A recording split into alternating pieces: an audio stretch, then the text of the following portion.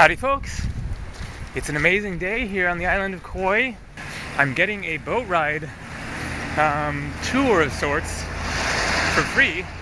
A friend on the island that I just met up with yesterday hooked me up with a situation with a marine biologist who uh, I guess goes out daily looking for whales and dolphins and scuba diving and stuff. It's just gonna be me and him and we're just gonna go out and tootle around for a little bit for an hour or something. I'm not sure exactly, but uh, just see what we see. Looking forward to it. I'm just uh, walking up there to meet him. Um, so I'm here in Hanalei uh, on the north shore of Kauai. The reason that I have all this stuff with me is I'm changing camping locations. I was camping at a beach park, Anini Beach Park, uh, for the past several nights and am switching over to another beach park campground. Looking forward to this boat ride. We'll see what transpires.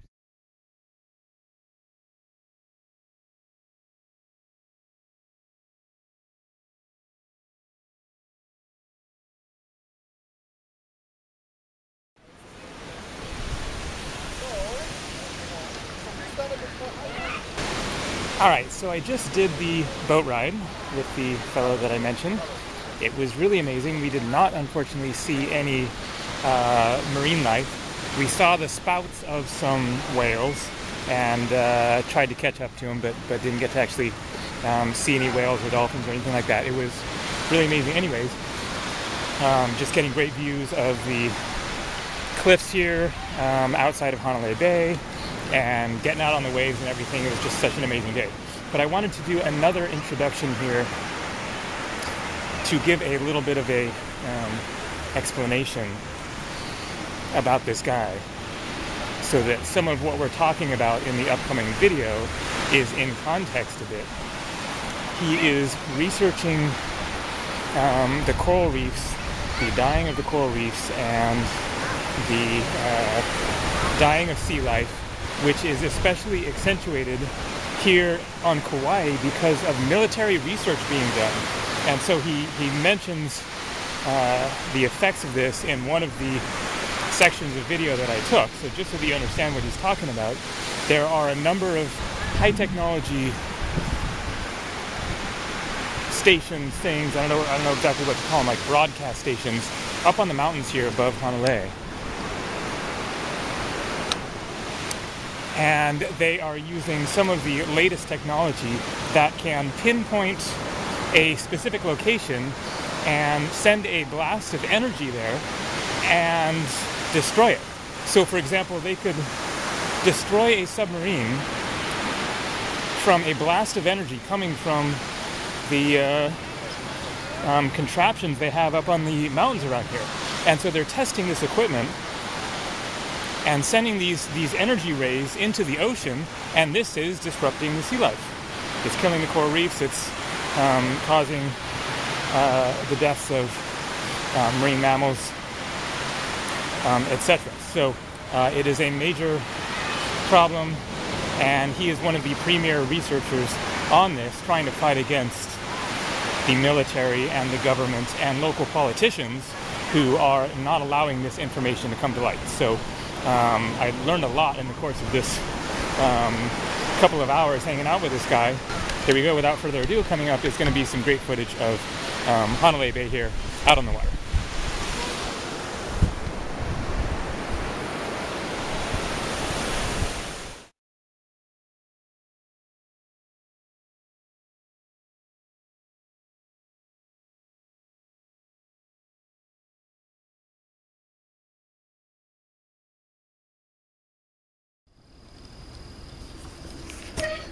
All right, uh, I'm on the boat here. We're just getting ready to take off in a couple minutes. Yeah. yeah, we have. This boat has got off uh, a month ago when we were doing the filming for uh, um, TV show. I mean, we had two drone helicopters, a GoPro mounted underneath the boat, Uh-huh. uh, two GoPros or three GoPros on the boat itself. wow, the helicopters were getting footage from up. Up above. Up above? Two, two drone helicopters. Oh, wow. So yeah, we had just tons of shit. Yeah. It was really fun. Sounds fun.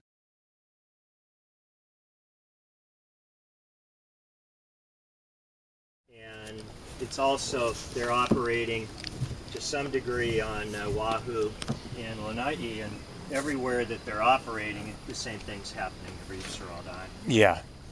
So it's really kind of, you can just see it when they start operating it within a year or two. We got all It starts affecting the. But the other problem we have here is that Hawaii has more endangered species per square inch than anywhere on planet Earth. Mm. But the Endangered Species Act has never been enforced here, which just seems so strange to most people. Uh huh.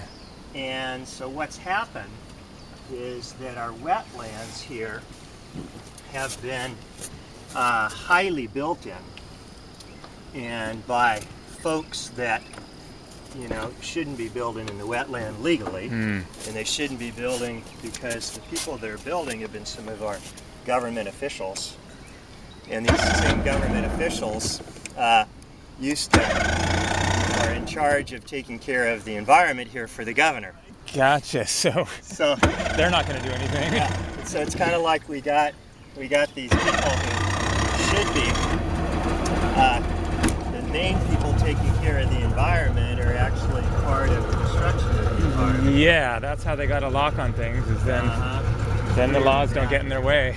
So all of the river right here, you see, is only about three feet deep, two to three feet deep. Mm-hmm. Yep, I can see the bottom there. No, it's supposed to be about 12 feet deep. Oh, really? Yep.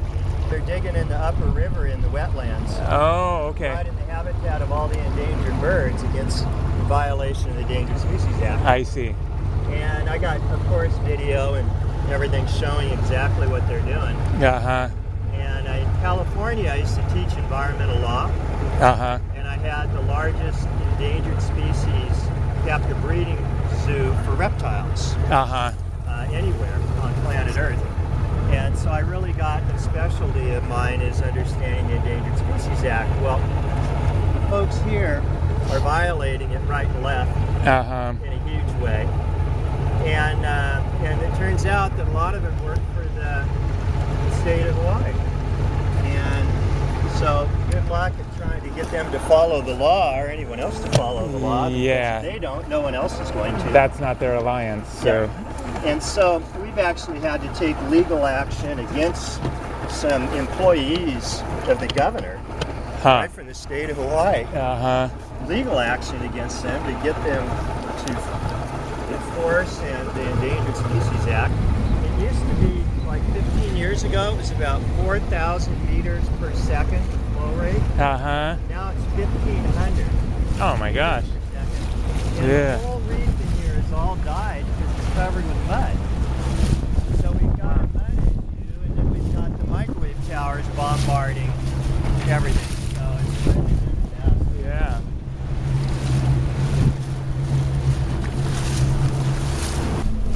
So all up and down the coastline here, as far as you can see, even all the way out a mile, most all of the reefs I have video, I get video. Uh-huh. So GPS point anywhere we want from a satellite or a helicopter, and I can pan right into what it looks like at the bottom. Yeah, it's pretty cool.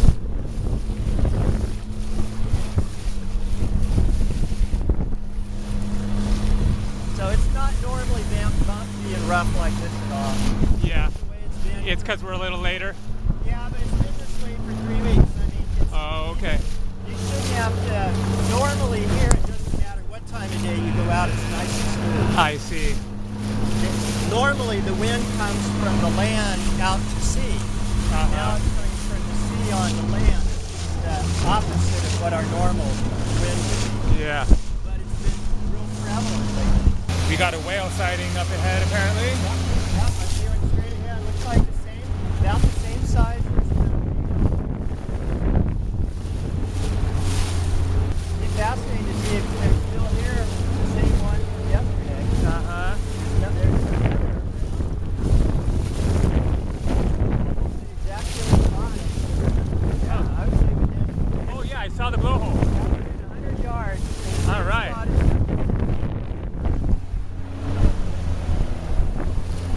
Video log driving today I can't do.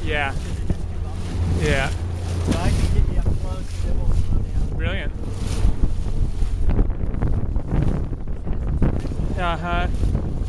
Yeah, then you when you get out here, you get a real sense. Then you're touching it. It's more real. Yep. What they were doing yesterday, she flaps her tail, Uh huh. and she worked with the dolphin to corral the bait into a tight ball. And slapping her tail, and the dolphin would go around in front of her and on each side, and then they'd get the bait in a tight ball, and then they would all go down deep and come up with their mouths open. That's a trip. They hunt together, eh? Oh yeah, it's really fascinating. Brilliant. Watch.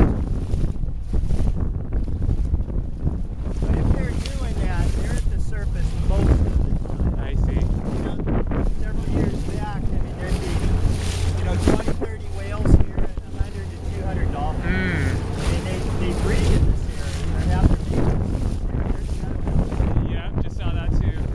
Yeah, so it's got to be frustrating for those tour groups. They go out to try to see something, and then Yeah, some of the tour groups, they even guarantee they see whales and dolphins. Not they get them. oh, That's been pretty hectic business. yeah.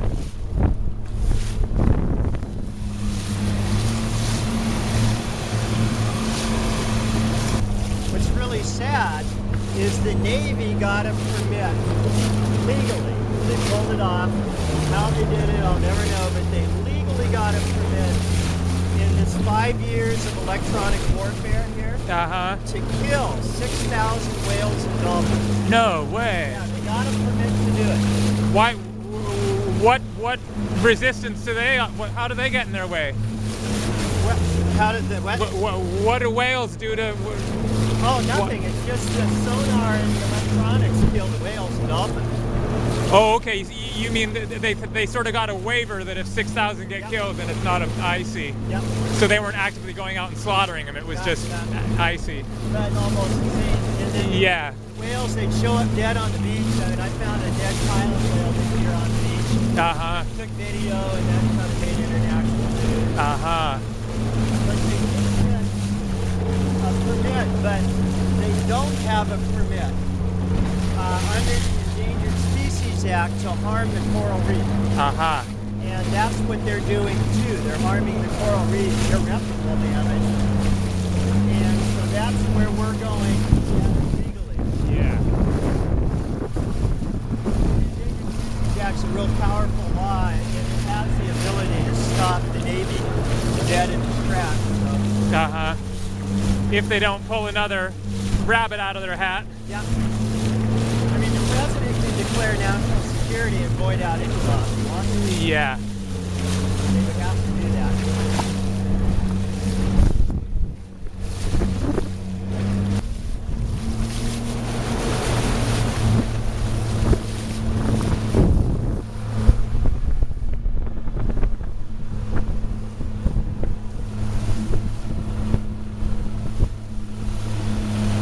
That's about the most boring wildlife ride a Hanway you're ever gonna have. Yeah, that's the way it goes. It was still fun. It was still exciting.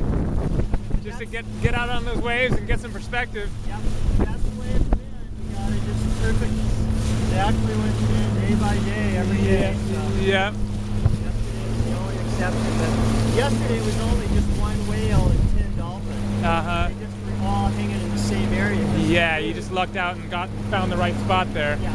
We didn't see anything going all the way to the tunnels. We saw them on the way back. Uh huh.